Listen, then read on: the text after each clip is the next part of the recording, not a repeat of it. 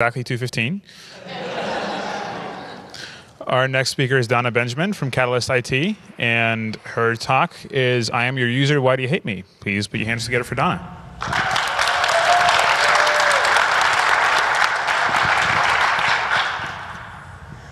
I am your user. Why do you hate me? Free and open source software suffers from poor usability. Did I just say that out loud at LinuxConf AU? But it's true. Free and open source software does suffer from poor usability. And Leslie Hawthorn and I have been ranting about this to each other in private for many years. I'm Donna Benjamin. Uh, as Rowan said, I'm currently working at Catalyst IT, an awesome company dedicated to providing free and open source software solutions to companies and organisations of all sorts. Um, I first met Leslie Hawthorn um, at LCA 2007. Uh, now, she's at Red Hat these days, and uh, we've been having this sort of private rant for some time, and we decided to finally take it public. When we did uh, sit down to start writing this talk, we kind of said, now, what were we talking about again?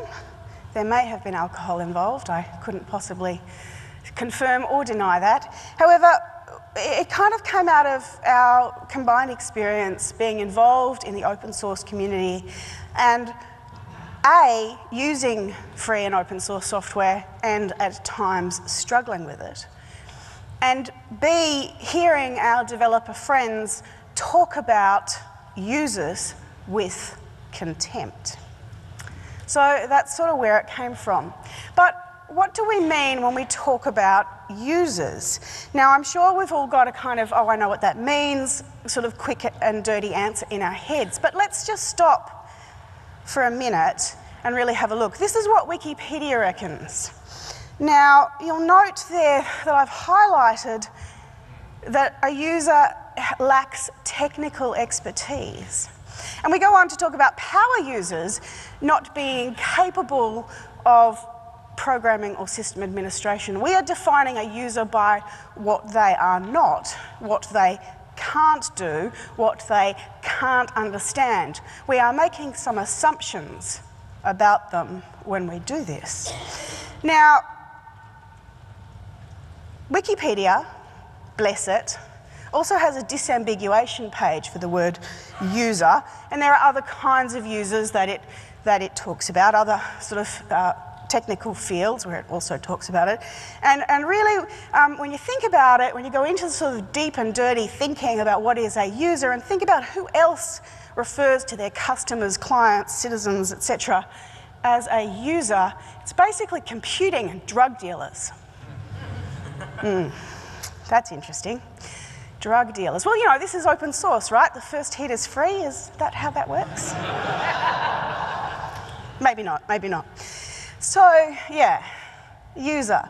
They're also, you know, often represented like this, but more about that later. So, how do I hate thee? Let me count the ways. Riffing a little bit on Elizabeth Barrett Browning there. Um, how do I hate thee? Let me count the ways. So, this comes back to the rant. When, when Leslie and I started uh, talking about this to each other, we kind of really, we tried to unpack what it was. Why were we feeling this? Why were we being made to feel stupid when we used free software? Why were our colleagues talking about users with such contempt? We wanted to really understand what that was about. Were we really, were we just making it up? Like maybe this was just our perception and it wasn't real? we talked to other people and they went, no, no, yeah, no, there's a thing. Like I started by saying we suffer from poor usability and I think many people agreed. So why? Well, we came up with a few. And we've talked about this one. Pia very nicely reframed the, the classic here, which is a lot of free software is just made by me for me. I don't really care about its usability because it does what I need. Now, if you want to use it and do awesome stuff with it, great, go for it, more power to you. Patches welcome. I may not, you know, do anything with them, but really it's just for brainiac me. The only person who needs to know how to use it from my perspective is me because I wrote it for me, right? Scratching your own itch. Fine. Then there's this kind of prevalent, pervasive meme about the stupid user. Stupid users. I mean, hands up if you've seen something like this before. Hands up if you've read about those hilarious stories about users using, you know, their CD tray as a cup holder and right. There are just so many of these things. But what are we really saying here? You know, we, we kind of accept this, we laugh about it, we joke about it, but we're calling our users stupid. And that's not, that's not really all that helpful. This one I just came across recently. It's from a book called Search Patterns, um, talking about the way uh, users actually approach search and there are different behaviours and stuff. And I just, it just really jumped out at me because I was prepping for this talk. Most of the complaints we get are due to the way users search. They use the wrong keywords. Yeah, that's right, it's those stupid users. Those stupid users yet again. So this is common. We, it's a shorthand. Yeah, yeah, stupid users. Yeah, so what do we do? One of the other things is we think we know better. Our users might ask for things, but no, no, no, we know they really don't want that. They don't know what they want, they can't express it to us. No, no, no. No, no, I know better. Who's, had, who's encountered this professionally that you might be talking about a, a backlog of work to do and yeah, a few hands went up? Is it frustrating? Or do we just sort of go, yeah, no, they, they don't really need these things? Or we don't have time to do these things. And we think this thing is more important. So, no, no. I love that picture. And this one, this one I get particularly frustrated with that we kind of assume our users can't do stuff because they're just not technical. This really wasn't designed for them. They're not technical. They can't understand. You're just not technical. Who's, who's ever been told that? Does it make you feel awesome? Yeah. yeah, does it make you feel awesome? So you're just not technical. I mean, what does that really mean?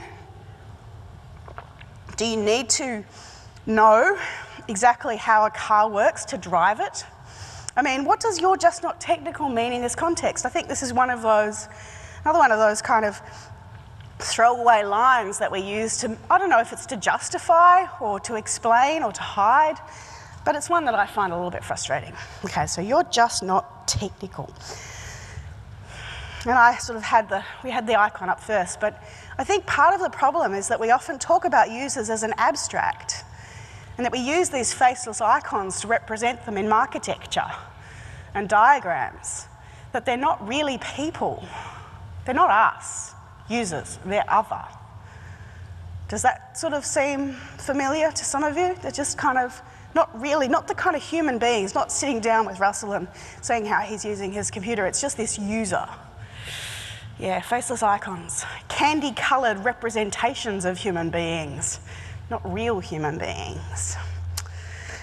And then there's this one, I think, ooh, I'm not sure this goes really to the heart of usability so much, or, but really about a broader sense of our community and how we treat people. That somehow we take pride in having prickly attitudes in some of our projects. That you've got to have a thick skin to really, you know, be able to get through all of the stuff to be able to contribute back to that project. Prickly attitudes. But users can be whiny, entitled, and demanding. As we had Nadia's keynote this morning, there are a lot more of them than there are of us, and they can be incredibly entitled and opinionated and not very helpful and not very polite. Neither Leslie or I are advocating for these kinds of people. There is another definition of user, and we talk about them as the kind of people we don't want as friends quite often. You know, if that person is a user, there is an exploitative element to the relationship. We acknowledge that, take that on board absolutely and very categorically say we're not talking about that kind of person when we're kind of raising this discussion. But that said, and I think Nadia also touched on this, why are they whiny, entitled, and demanding? And they should have been in Lana's talk, which was just on, and maybe they could help themselves better if they, you know, read our fabulous manual. Uh, if they helped themselves, if they uh, organised amongst themselves to support each other. You know, this selfishness is born, I think, often out of frustration, let's face it. How often have you perhaps encountered some rough edge of a software tool of one kind or another and perhaps said words that your mother would not have been very happy with you for saying? or uh, your father would have looked sternly upon you for using such vulgar language. Um, I think, well, I know I'm certainly guilty of it, and I'll swear and cuss and, and say terrible things about the maintainers or creators of that software, but it's come out of frustration. It's come out of, I don't know how to do the thing that I'm trying to do. Is that common, or is that just me? Some nods, some hands, yes, okay. So that's not what we're sort of talking about. But perhaps we can empathise a little bit about where that's coming from. Let's face it, we, we don't always make it easy for users to help themselves. We might send them off to find a manual that was wonderful five years ago but now doesn't apply or doesn't exist at all because, hey, it's self documenting code, right? Just read the code. Some of us do actually, and go and figure out why isn't this what? Oh, right. It doesn't do what I think it should do, so documentation would help. And not just as a way of stopping users from asking questions, but also as a way for them to get on their way and do the thing they came to do. Help them, guide them, give them guide rails, make it easier. We could do better here as well. So let's just pause for a moment and chat about chat. Who's familiar with this icon? Slack, the IRC killer. No. IRC, IRC has been with us for over 30 years.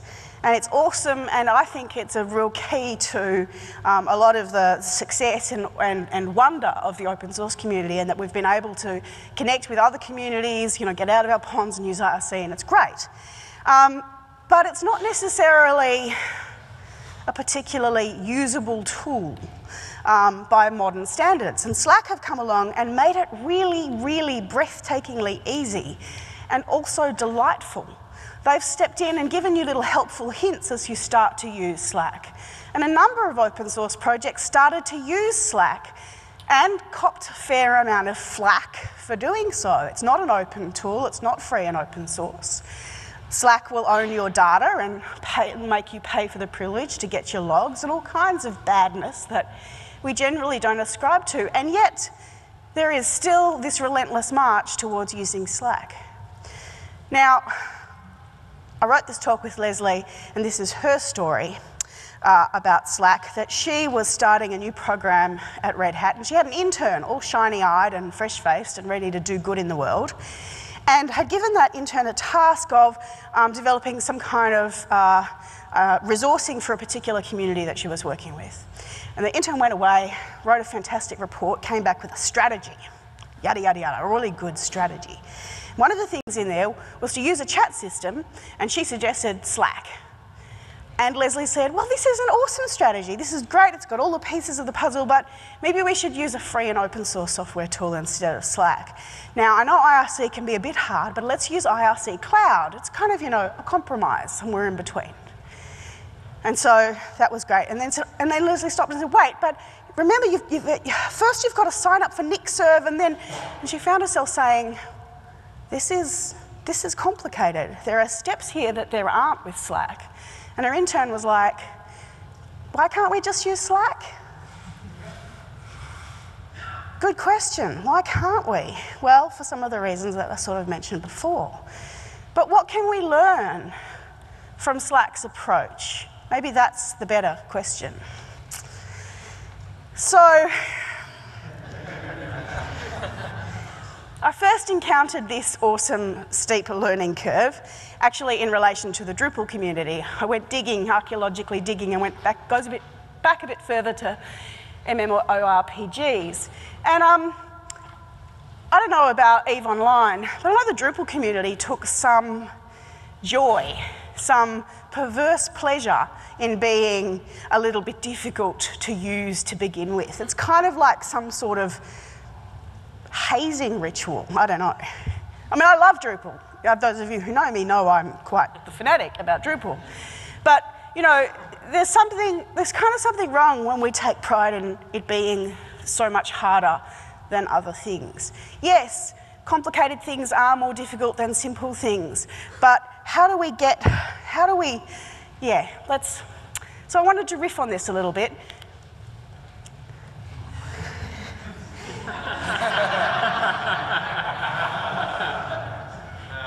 We talk about things being easy. Now, anything is easy when you know how, right? Once you know how to do it, it's easy. Now, hands up if you're a VI user and it's easy.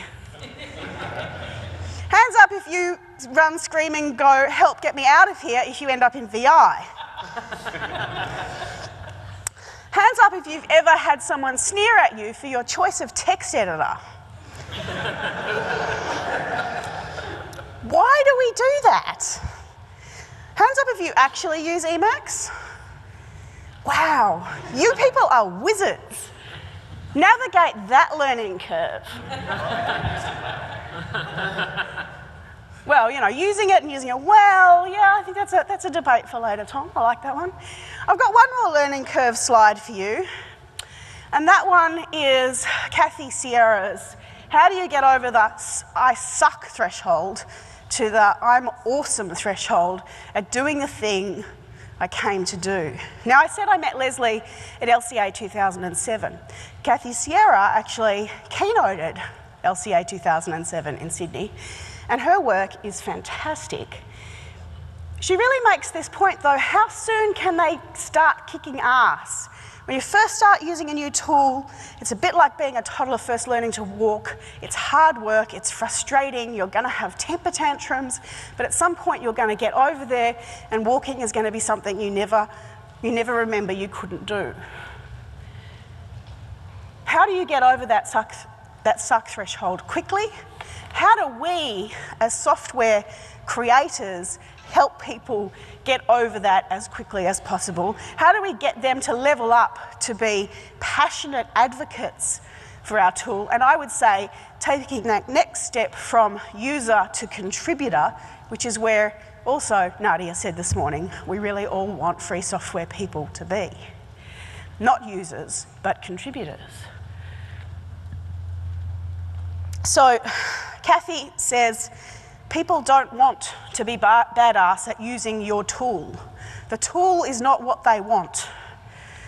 They want to be badass at doing whatever that tool allows them to do, right? We often get stuck in thinking about the software. But the software is absolutely irrelevant. I want to, my worst, my worst example is print name badges for a conference in LibreOffice.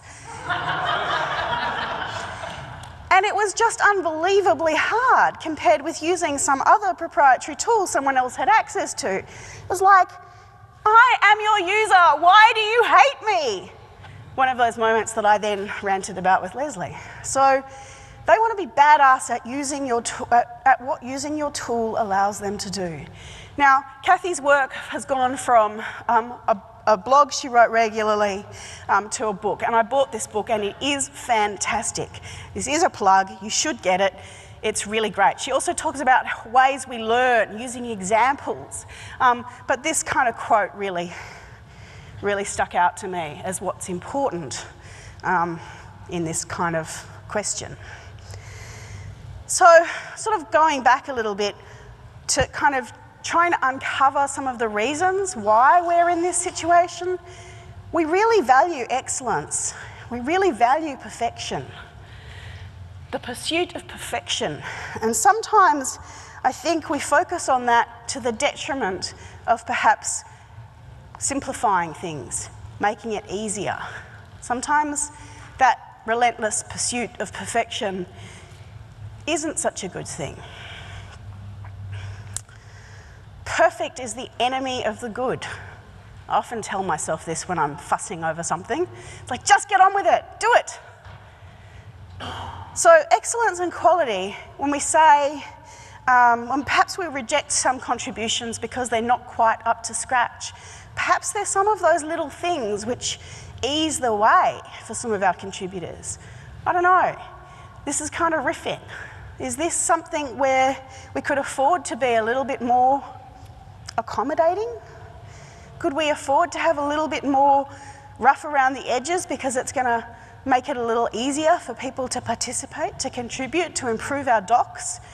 Perhaps we've got a non English speaker come to us and their English grammar is not that great, but they want to help us with, their documenta- with our documentation, but we're going to reject it because their grammar is not perfect.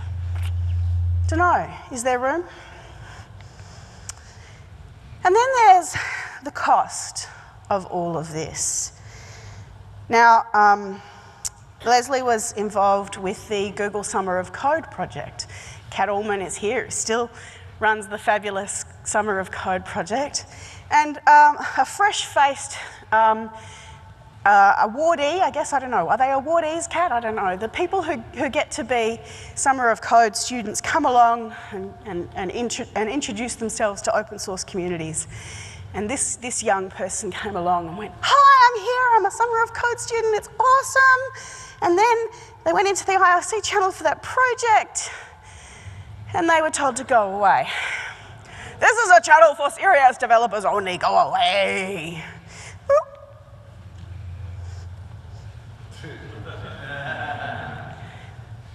Very sad. This, is, this cartoon is written by this woman, Angela Byron. Now, she went on to be the release manager for Drupal 7. That Summer of Code project was Drupal.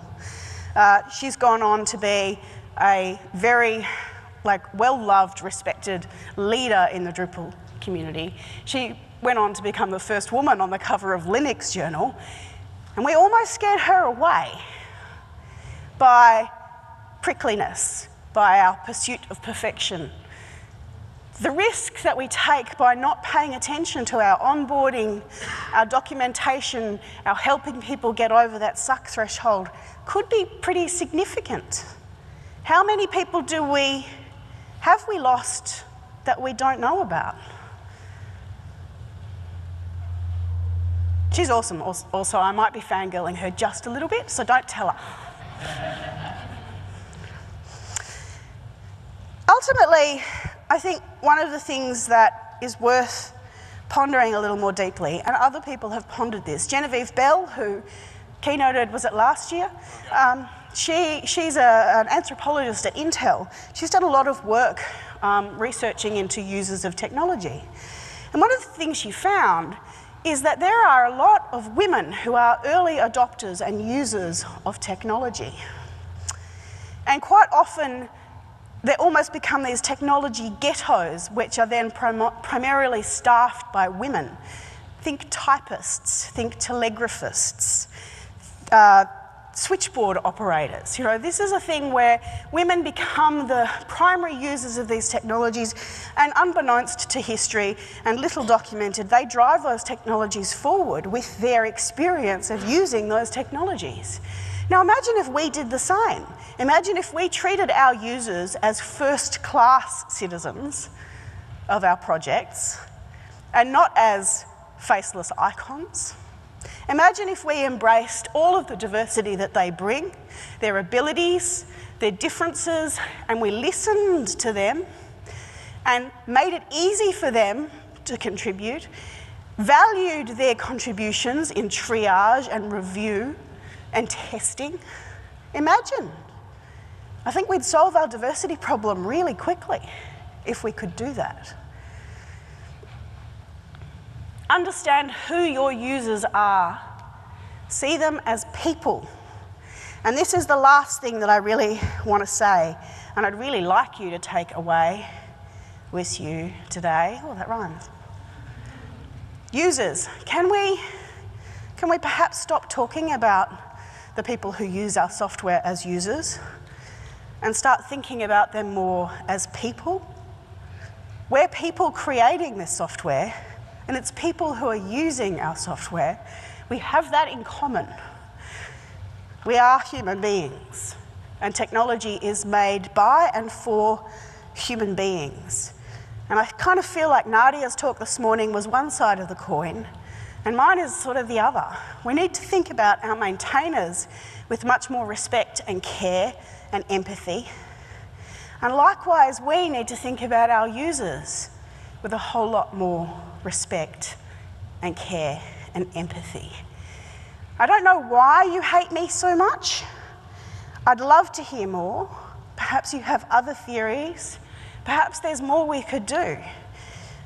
But I hope you agree with me that it doesn't hurt to stop and think and ponder that question. And next time you get a splinter from the rough edges of a piece of software you're using, perhaps you'll pause before being whiny, entitled, or demanding and expecting the maintainer to just do something about it. But flip side, next time you're working on a piece of software and someone else brings that frustration to the table, you'll be able to wear those shoes. Take a moment and think of that person and what it is they're trying to do and how you might assist them to do it rather than worrying so much about the technology itself. Is that something some of you could do? Yeah? Thank you.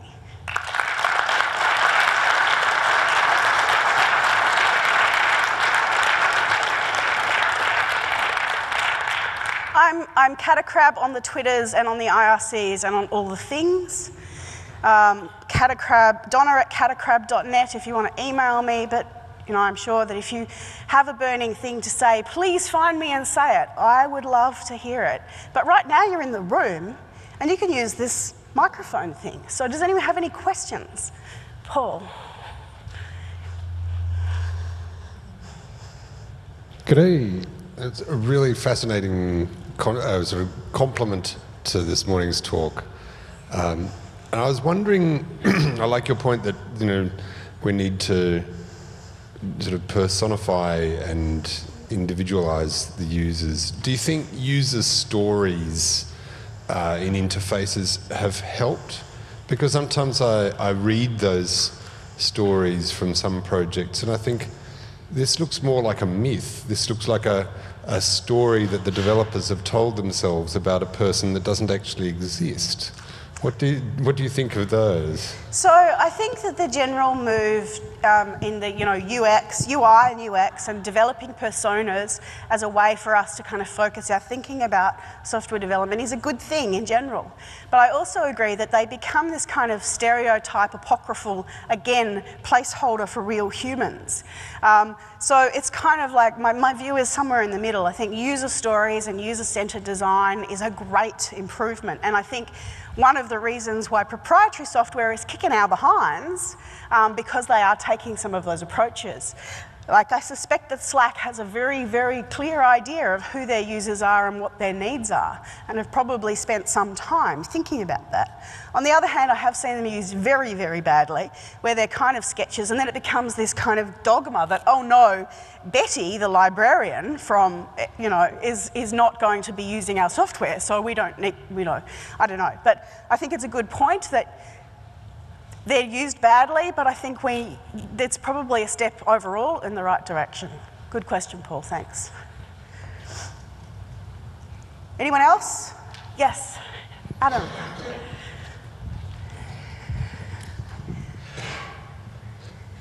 So I guess both in open source and closed source develop, proprietary development, there's often a tension between you only have so many you know personnels available to do work, and on the one hand you might have some shiny feature that somebody really wants to implement, um, or a product manager is screaming at you about, or you could do work to improve a user experience or to to simplify things. Do you have and that's often a tough battle to win if you're on the user side. Do you have techniques or tricks for kind of like trying to just nudge that back the other way? That is a great question, and I wish I did. Uh, do I have any tips or tricks to, to focus on improving UX over implementing the latest shiny feature that the, the client is calling for? I think we need to embrace usability and a user focused approach as a kind of baseline gate for everything. It should be built in like accessibility. There are still people who don't do that, but in a perfect world, this stuff is part of the definition of done effectively. That we have testing, that we have research up front, that we kind of understand where we're going from. But I think even more so, it's kind of like the ceiling of simplicity. Could we just make things easier by removing complexity? Can we, it's much harder, like people always say, you know, simple is the hardest thing to do, but I think that's where we need to focus our energy. So building that new shiny feature shouldn't happen unless that usability, it, there's a usability improvement in it as well. Not really answering your question, Adam, I'm sorry. Hey Donna, great talk. Hello. We love you. Um, my question is, and it may be controversial. Thank you. Should something fail a code review if the usability sucks? So I didn't quite hear that. Should something fail a code review if if the usability sucks? Yes. But how do we test the usability? How do we? I mean, this is the thing. It's like if we go back to the you know just brainiac me scratching my own itch. If we don't care to begin with, then no, right? But if we do care, and I think on the whole we have a little bit more empathy and we would probably all like the world to be a better place, okay, okay, I'm naive and optimistic and Pollyanna-ish about this, but yes, we should. Usability should be, um, should be good before that code review is accepted and merged. But then you knew I was going to say that. there were a few other questions. I saw hands go up. Hey, Donna. Hey, Luke. Um, the journey you were talking about, um, trying to get more users to become contributors or even committers to projects. Um, is there any kind of really good example you've seen or strategy that open source projects can use to, to help people along that, that journey in particular? So I think there are a few. Um, the Drupal community um, expends a huge amount of effort in um, supporting mentors to hold uh, first patch um, workshops at DrupalCon. So we literally have like 600 people in a room the last day of the conference. Everyone's learning about the workflow and the process of how to, you know, because Drupal has a particularly special and arcane way of doing patches rather than the modern world of pull requests. Um, but there's a lot invested in that and it works really well. But I think Nadia also touched on it today. The first patch is kind of a good fun, you're supported through it. But what about the second and what about the tenth? The numbers of first patches versus 10th patches, that's that bit. So that's where I think we need to look at what Kathy Sierra is talking about and getting people over that I suck threshold as fast as possible. Remove as much pain from that first contribution, value it, don't critique it too much, and then talk about, now that was great, could you maybe help with this? So I think there are some projects which are doing this really, really well. And Deb Nicholson, I'm not sure if she's in the audience, she's worked on Open Hub, I think, no, Open Hatch. Um, so I think that's one of those things where the future is here, it's just not evenly distributed. Yeah, definitely some learning to be had. Hey, uh, thanks for the talk. Um, usability is something that's, you know, obviously a responsibility for all developers, um, how exactly, like, do you have any suggestions for how open source projects can attract people who have um, specialist background in stuff like user experience design and user research? A really good question, and another one I can't really answer. Um, I think we've, I mean, I, don't have enough broad experience across open source communities. It's probably one Leslie would have been able to answer better. I might call on Cat, might have some thoughts, but one of the things that I know the Drupal community struggles with is getting diverse kinds of skills into the community. Like, we'll get developers, but we could really do with more designers and UX people and accessibility um, uh, experts. So there's a real challenge there, and I think there are There are also cultural issues in those different, perhaps, skill sets and professions that may not be open to the idea of sharing. They may come from a different background. So I think it's actually, you know, putting your finger on one of the challenges. Um, I wish I had a better answer. I know it's, it's something we need to find a way to do. Yeah. Any more questions?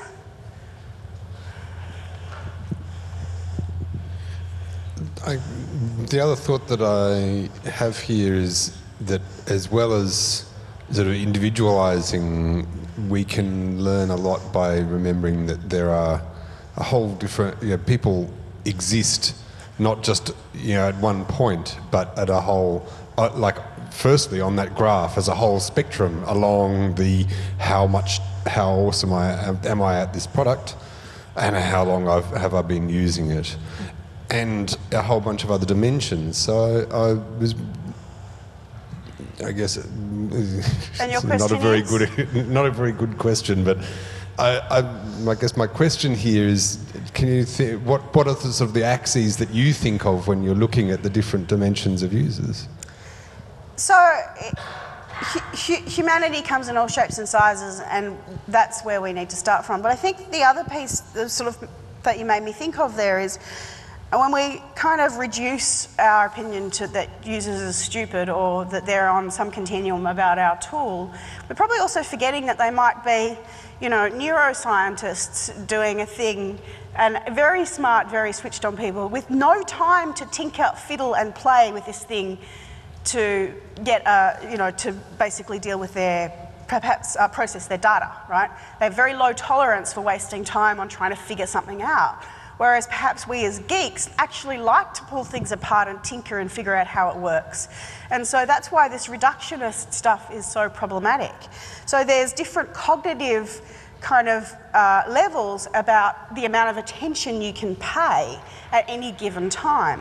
Then we've got our layer of ability, whether or not you're using assistive technologies, whether or not you're wearing glasses or not, and your you know fine print is so fine that you know you can't read it. Um, there's a whole lot of different um, factors: age, language. Yesterday, the session of three people talking about how the challenges of being a non-English speaker. You know, there's so much stuff we build in, so many assumptions that we make. That I actually don't think there are- is an ax, you know, one axis. It's kind of, yeah. Sorry. There's a question up the ah, two here and then one right up the back. Sorry, Ryan. Do you think that previous point maybe generalises out into just not having enough respect for other disciplines where we don't really appreciate how hard it is to teach children, practice law, whatever? We have a very high opinion that we know something about our field and we don't appreciate that these people are very smart about other things and we don't have enough respect for their opinions based on that. Very much, very much agree. Respect, uh, respect and empathy, I think, are really keys to this. And just stopping and being able to accept a different perspective um, is, is something we just could do more of generally, I guess. Yeah, agreed. Sarah. So, as a user, how do I approach a developer without offending them to say that they need to make it a little bit more user friendly so I can use their product? So I think Pia had um, uh, a great example of this in her keynote the other day, which is rather than saying, this really sucks, to, hey, here's a way that you could make it better. So if you can come with a solution, then that's probably the best approach. But I personally sometimes struggle with that. You know, I've been told, hey Donna, you can just you can just contribute a patch and make this better. I'm like, yeah, I'd have to like start my life 20 years ago and like kind of to get the skills to do that. And also, you know, this is where going back to the stupid users meme, yeah, sometimes I don't know what would make it better. I just know it's making me angry. right? But that's where I think that empathy and triage stuff comes in that we go, someone is really struggling with this bit. Could we just look at it maybe? I think Lana probably has some good um, experience and ideas on this when you're writing technical documentation. You know a bit that's making people blow up. You go, hang on, right, okay, we need to scaffold this a little better. So, good question, and again, one I can't answer effectively. Another question? Yeah. Yes? Yeah. So usability takes a lot of work to build in. Sorry, and- I can't hear you. Sorry, usability takes a lot of work to build in. It is very easy to damage. How do we break ourselves of the idea of change for change's sake? I don't know. I agree. Like, usability is hard. It definitely is hard. But maybe I'm being unfair, but I kind of feel like it's in open source being it's hard and we don't care. It works for us. I'm okay with, you know, this arcane process. It, I, I don't even have to think about it. I don't have to scaffold. So I, I may be being unfair, and I, I know I am, but, you know. So there's an element of that. But I also think that um, there's there's something we need to kind of address about that. I mean, let me rewind a bit. If, uh, I, I ran Linux Conf AU when it was in Melbourne many, many years ago, and following the Sydney conference. And, and the Sydney team developed new software to run LCA. It was awesome. It was called Zookeepr. This is the first year we haven't used it. Now, there were some people on my team at the time who said, oh, no, we can write our own, because that was the kind of uh, kind of pattern in the day that we'd just start again from scratch each year, which was foolish. But I got given Zookeepr all set up and ready to go. Like, okay, cool. So, um, where's the admin page? Uh, what? So how do I how do I use it? Oh, sorry, we didn't give you this text file which contains the SQL scripts you need to paste into here to get the reports. And I went, that's not going to be working for me. So poor old Geary, who was our zookeeper keeper, actually wrote an admin page and put those scripts in such a way that I could actually run queries through a web browser. Voila, it was awesome. But it was just one of those things where it's like the people who wrote it wrote what they needed to do what they needed to do and not a step further. And that's why I have sympathy for the Just for Brainiac me. You know, sometimes that's all you need. You throw the code over the wall, and if someone else can find it's useful, awesome, more power to them. They might make it better and send it back to you. Yay, job done. But what about if your community grows from two to five people to 2,000 to 5,000 to 50,000 people, or like Drupal, a million? Changes a bit, and you've got people who have different skills to bring to the table, and we want to adopt, we want to embrace them as contributors, and so they are designers and project managers and goodness only knows what other kind of pigtail wearing hippies, you know, that want to come and have really good skills to offer, but they're not going to be writing code or SQL queries. So again, I went off on a bit of a tangent there, but yes, usability is hard. I wish I had an answer. All right, we have. Take a step back, please. Thank you. Thank you for getting out of the danger zone. We have time for one more question.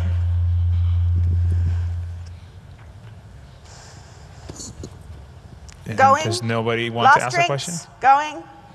Going. Gone. Thank you all so much.